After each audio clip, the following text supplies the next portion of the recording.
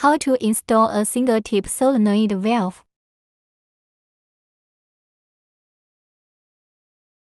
First unscrew the nut clockwise.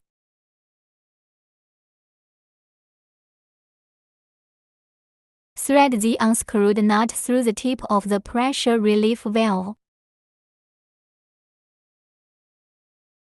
Then remove the rubber stopper.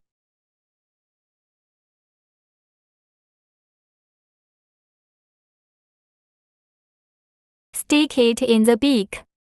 Press the tip well hard and tighten the nut counterclockwise.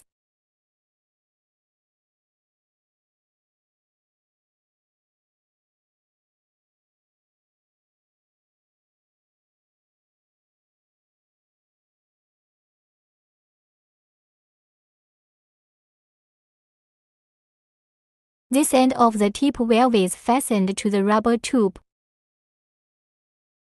Connect the single-tip solenoid valve to the combustible gas detector.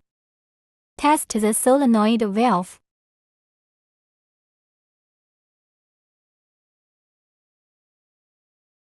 Pull the solenoid button.